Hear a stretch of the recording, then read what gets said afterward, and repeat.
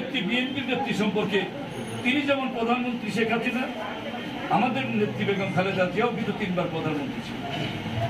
যে বক্তব্য যে ভাষা তিনি প্রয়োগ করেছেন যেটা অত্যন্ত দুঃখজনক রাজনৈতিক শিষ্টাচার বহির্ভূত এটা বাংলাদেশের মানুষ আহ, অত্যন্ত কষ্ট পাচ্ছে তারা লজ্জা পাচ্ছে যে একটা দেশের প্রধানমন্ত্রী হয়ে এই ভাষায় কীভাবে তিনি কথা বলেন এখান থেকে একটি ভাষা থেকে আপনার দু একটি শব্দ থেকে কিন্তু বোঝা যাবে আপনার আচরণ, আপনার কথা, আপনার পরিবার কেমন।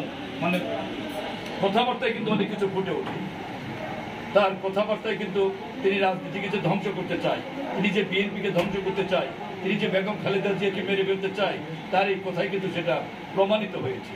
এই জন্য আমরা আজকে বিক্ষুব্ধ, জনগণ বিক্ষুব্ধ এই বিক্ষুব্ধ হয়ে আমরা এই বিক্ষোভ সমাবেশ করতে আজকে এসছি মাগুরা জেলাতে।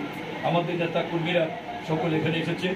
শুধু এই মাগুরাতে না, সারা বাংলাদেশে আমাদের সাংগঠনিক আট- আশিটি জেলা।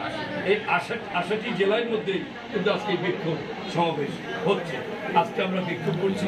আগামী দিনে অন্য কর্মসূচি দিব এরপরে কঠিন কর্মসূচির মধ্য দিয়ে আমরা একটা ফয়সলায় যাব।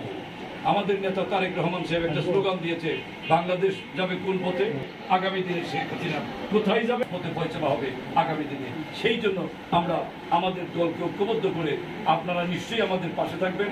আমাদের ন্যায়সঙ্গত দাবি ন্যায়সঙ্গত কথা ন্যায়সঙ্গত যে বক্তব্য, এগুলোকে আপনারা জাতির সামনে তুলে ধরবেন। জাতিকে আপনারা, জাতির বিবেক হিসাবে আপনারা কাজ করেন। এই জন্য আপনারা আমাদের কাছে অত্যন্ত গুরুত্ব বহন করে।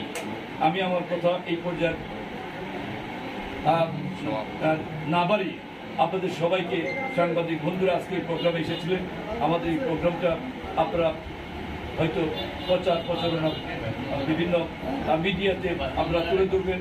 আপনারা প্রিন্ট মিডিয়া ইলেকট্রনিক মিডিয়ার মাধ্যমে এই সমাবেশটা আপনারা তুলে ধরবেন। যার মাধ্যমে সারা দেশের মানুষ বাহিরের থেকেও যারা সারা পৃথিবীর মানুষ জানতে পারবে এই বিক্ষোভ সমাবেশের কথা। আশিটি জেলায় এইভাবে বিক্ষোভ হচ্ছে। এক পর্যায়ে উপজেলা পর্যায়ে হবে, ইউনিয়ন পর্যায়ে হবে। সমস্ত মানুষকে আমরা সারা বাংলাদেশে এক যুগে সমস্ত মানুষ যখন রাস্তায় নামবে, তখন পদ্মা নদীতে যেমন ঢেউ পদ্মা ব্রিজ বানিয়ে তারা গর্ব করে এই পদ্মা ব্রিজ এটা হাসিনার টাকায় হয় নাই। পদ্মা ব্রিজ হয়েছে জনগণের টাকা। জনগণের টাকায় পদ্মা ব্রিজ হয়েছে। এই পদ্মা ব্রিজ দিয়ে এত গল্প করার কিছু নেই।